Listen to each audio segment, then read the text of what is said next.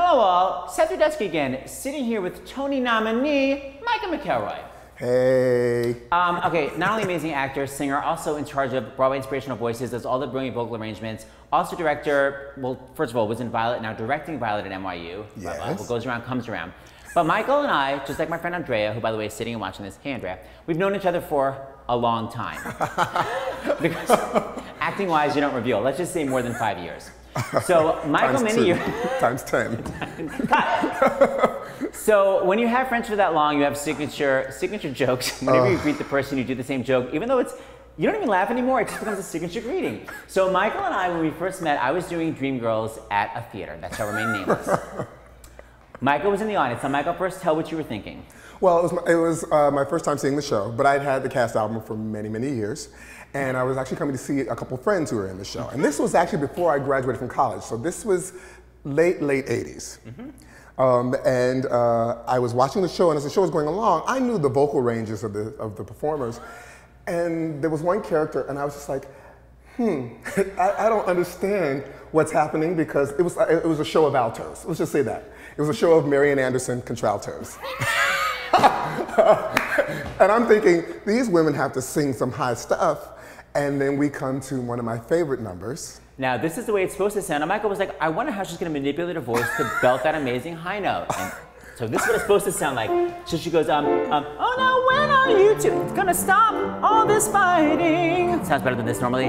She goes, yeah, well it's between me and you. I'm as much a part of this group as anybody else. And she goes, and I'm tired, Effie I'm tired. That's a crazy note. And I'm tired, Effie.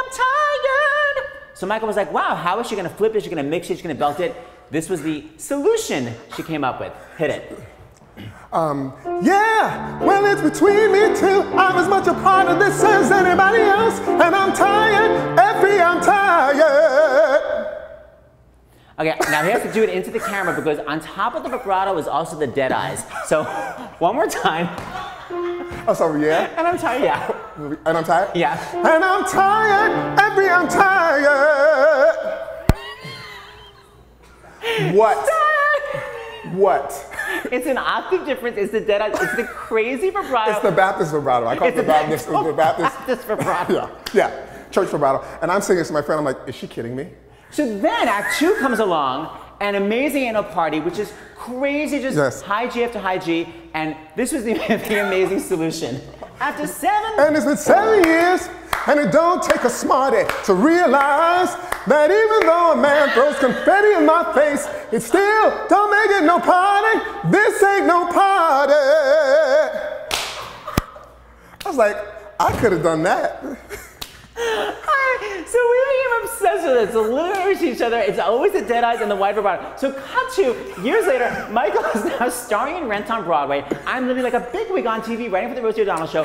I write this parody song to um, La Vie Boheme, and it's all about like November's guests. So it's like it was sweeps. It was for the sweeps. It was sweeps. because in November is sweeps. So it's like November's guests. November's guest, and I'm sort of teaching it to the cast of Rent, like literally like amazing big stars. I'm like, what sounds awful? I don't know what sounds awful. I look over at Michael and he's literally singing this. November's guest. November's guest. And it cuts through. It, everybody, it doesn't matter. It cuts right through. So ugly. Just It's the above and the below the note. the here's the note, but here's the vibrato. Yeah.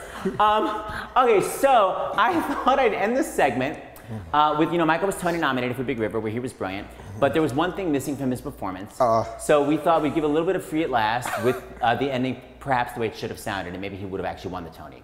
Oh, yeah. This would have helped. Oh,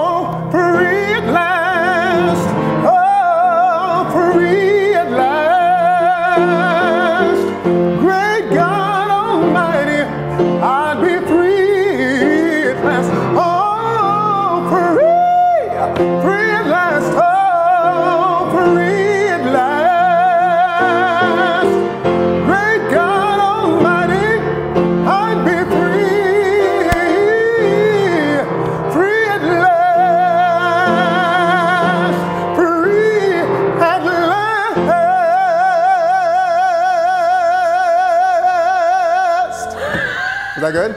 That would have, I would have won. I would have taken it. I'm out. Insane.